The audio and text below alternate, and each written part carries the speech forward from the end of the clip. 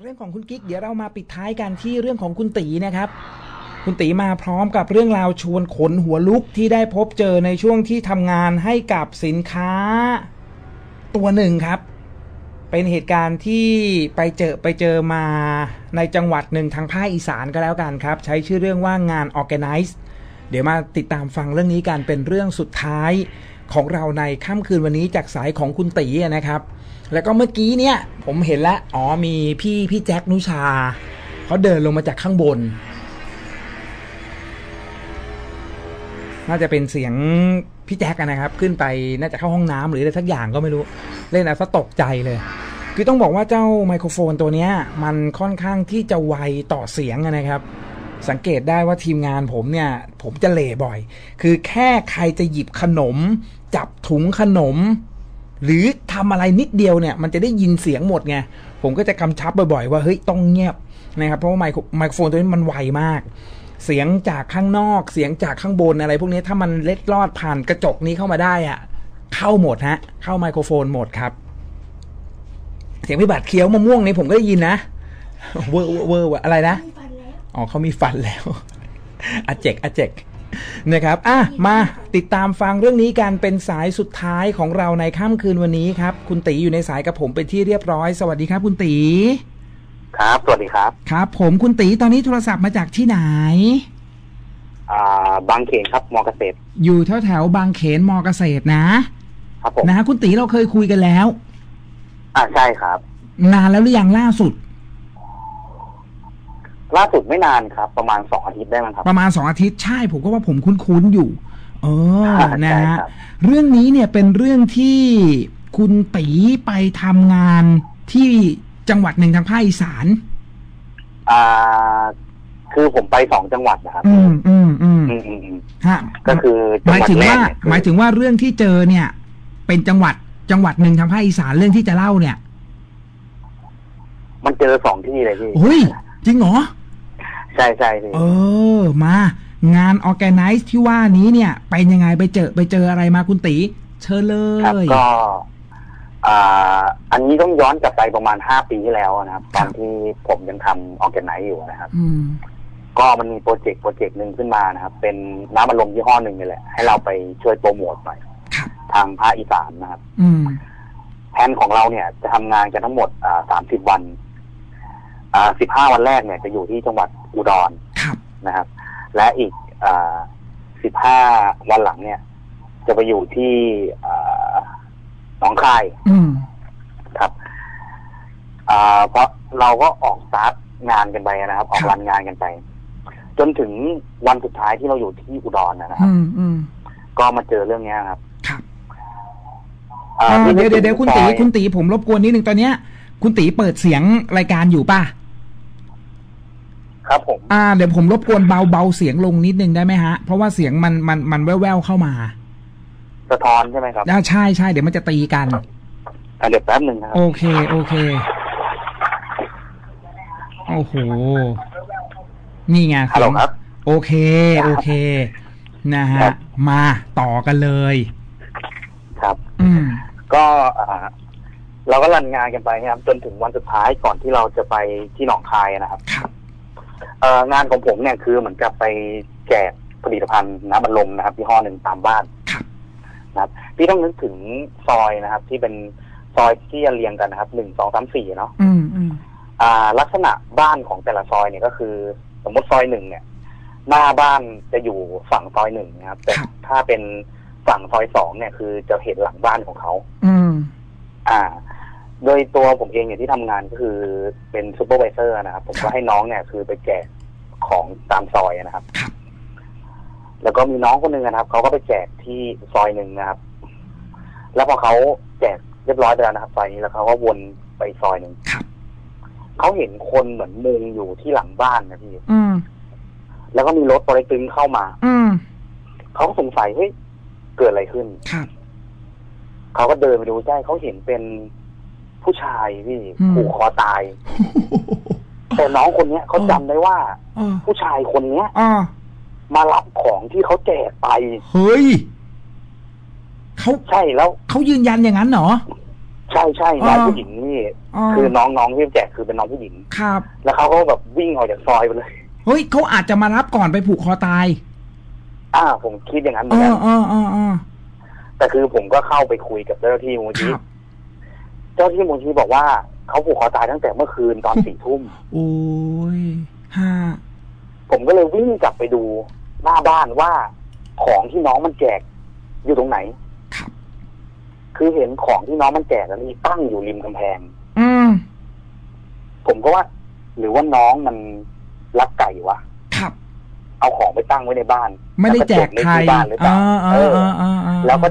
คือคือการแจกของเราเนี่ย เราจะเก็บเลคคอร์ดโดยที่เราต้องขอชื่อ ครับขอเบอร์โทร ครับผมก็เลยถ้างั้น ถ้าน้องมันแจกจริงเนี่ย ชื่อมันต้องตรงอืมกับคนที่เสียชีวิต ครับ ผมก็เลยไปขอดูชื่อจากเจ้าที่มูลนิธิอะพี่เออชื่อมันตรงกันนี่เฮ้ย จริงอะ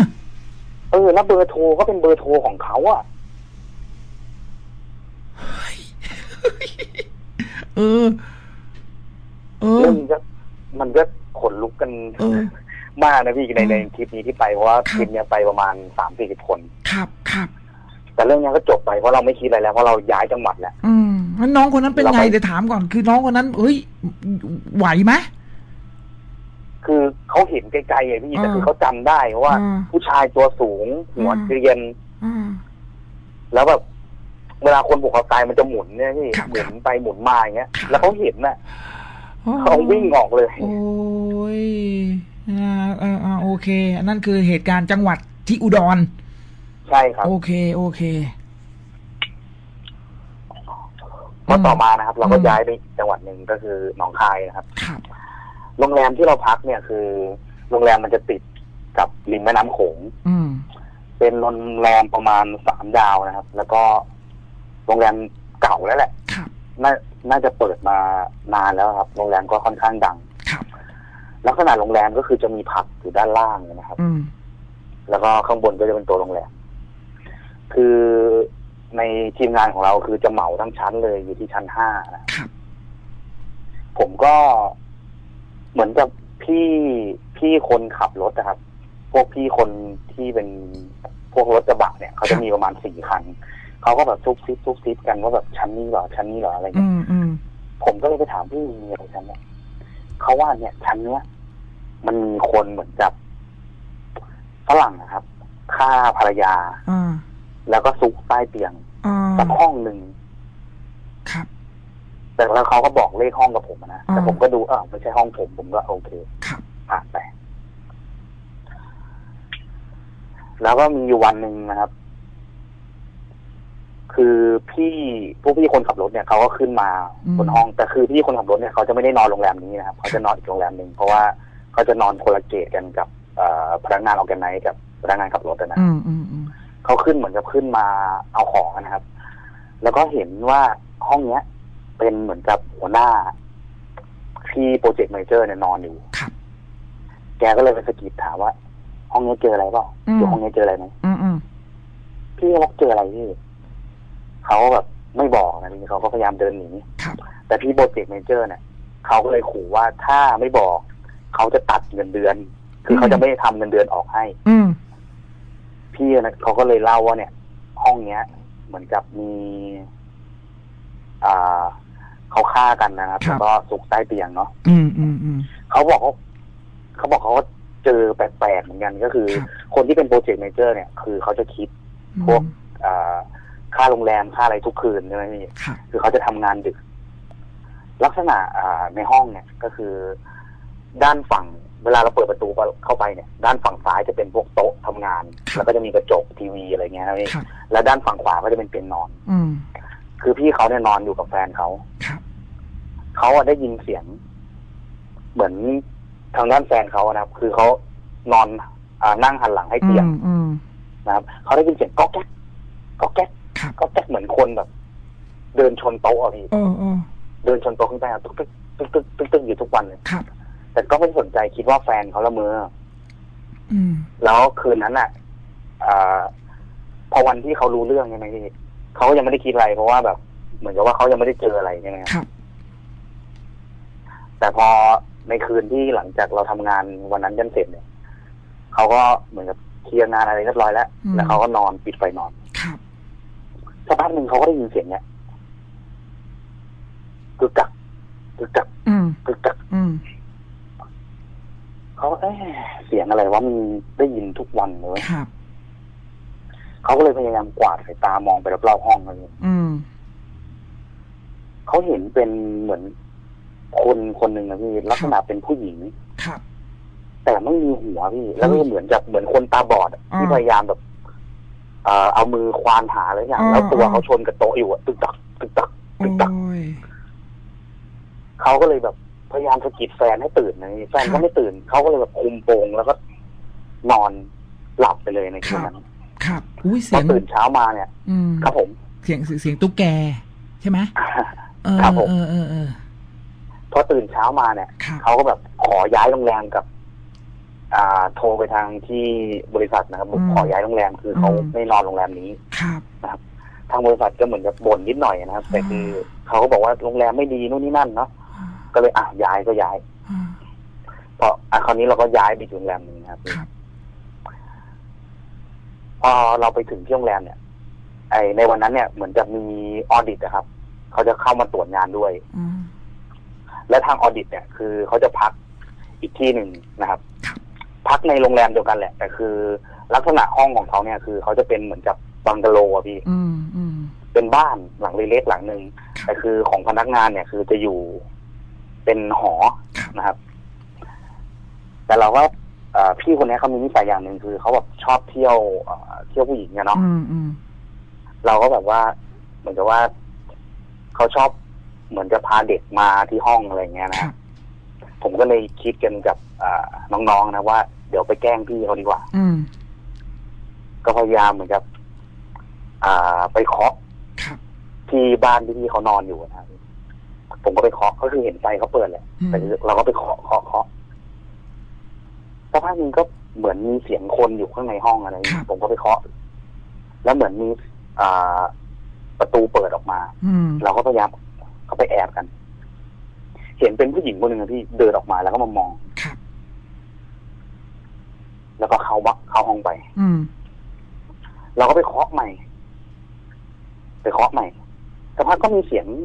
อยู่ในห้องแกแล้วก็มีคนเปิดประตูออกมาอีกแล้วครับแต่ครั้งนี้คือเราเห็นมาแค่ เป็นผู้หญิงแน่นอนเพราะว่าเราเห็นผมยาวๆนะพี่อ่าชะโงกหน้าออกมาอ่า แต่คือในห้องอะ คือเขาจะเปิดไฟแค่เหมือนกับไฟหลีๆไฟห้องน้ำไว้ครับครับคือในห้องจะไม่ได้เปิดอะไร แล้วก็เอออย่าไปกวนพี่ซอฟเลยพี่ซอฟเขาพาเด็กมาแล้วก็เดี๋ยวอืมจะ อืมเดี๋ยวเขาจะไม่พอใจครับอืมแล้วก็จบไปพอตอนเช้าอะผมก็ถามพี่ซอฟเป็นไงบ้างเมื่อวานนี่เห็นพาเด็กมาห้อง อืมแกบอกว่าเมื่อคืนน่ะ แกออกไปเที่ยวข้างนอก แล้วเพิ่งกลับมาเนี่ยอ่าตอนประมาณหกโมงเช้า แกไม่ได้กลับคือมานอนที่ห้อง ใช่อ่าแกไม่ได้นอนที่ห้องอ้าว แล้วเราแบบเราไปแกล้งกันประมาณอืมสิบกว่าคนนะพี่ครับคือยืนหน้าชาว่าแบบเฮ้ยแล้วห้องนั้นใครอยู่สิบกว่าคนนี่คือเห็นหมดใช่ไหมใช่เห็นว่ามีป็ผู้หญิงเปิดประตูออกมา ใช่แล้วก็มายืนมองเราก็แอบกันนะอ่าอ่าอ่าอ่าอืมฮะเรื่องก็มีประมาณเท่านี้แหละพี่ คือไม่รู้ ไม่รู้เหมือนกันว่าพี่เขาดวงดีหรือว่าดวงไม่ดี คือใช่ที่ครับผมมองว่า เอ้ย ที่เขาดวงดวงดีก็คือที่เขาไปเที่ยวข้างนอก ใช่ แต่ถ้าเกิดว่าเขาไม่ได้ไปเที่ยวแล้วเขานอนอยู่ในห้องนั้นเนี่ยเขาจะเจออะไรหรือเปล่า ใช่ครับเออแต่เขาก็ยืนยันว่าไม่ได้ไม่ได้พาใครมานอนใช่ไม่ได้แบบว่าไม่ได้พาใครมานอน คืออมเขาบอกว่าเขาออกไปเที่ยวข้างนอกแล้วอืมคือ เหมือนกับที่เที่ยวนั้นอะ คือครัเขาบมีห้องให้เลยครับ ก็เลยนอนนู่นเลยอ๋ออ๋อเออฮะโอ้อันนี้ต้องต้องบอกว่ามันมันมันเหมือนเหมือนเหมือนสุ่มเหมือนดวงเหมือนกันเนาะนี่ขนาดครับผมย้ายโรงแรมแล้วนะคือนอนโรงแรมแรกไม่ work เฮ้ยมันรู้สึกไม่ดีละโดนละย้ายโรงแรมหนึ่งพี่คนนั้นไม่โดนแต่เราเนี่ยโดนแทน พวกเราเนี่ยใช่เออใช่ครับนะครับ นี่คือเป็นเป็นอีกหนึ่งอาชีพที่ต้องไปตามตระเวนตามต่างจังหวัด ต้องไปใช่ครับเพพักราะว่าออกกันไนอืมเราเหมือนกับเราเลือกโรงแรมไม่ได้อะพี่เขาจะจองไว้ให้เขาจะเขาจะจองให้อืมในราคาที่แบบต่ำอะมัอยู่นก็เลยนั่นแหละ เพื่อจะเพื่อเจออะไรบ้างก็แล้วแต่เนาะเพื่อเซฟงบเขาไงใช่ครับเออนะครับ แล้วเราก็จะไปแบบอะพี่ผมจะนอนโรงแรมนู้นโรงแรมนี้มันก็คงคงจะไม่ได้ ใช่ครับมันก็ไได้ต้องเอออยู่ที่ที่ดวงด้วยใช่ นะครับเออได้ฮะคุณตีนั่นคือเรื่องราวทั้งหมดนะครับ ของตอนที่ไปไปทำงานที่ที่ภาคอีสานสองจังหวัด ครับผมทั้งอุดรแล้วก็หนองคายโดนทั้งสองจังหวัดเลยนะฮะใช่ครับโอเค ได้ครับคุณตียังไงขอบคุณมากๆนะครับขอบคุณมากครับ ขอบคุณครับ สวัสครับสวัสดีดีคครัรับบ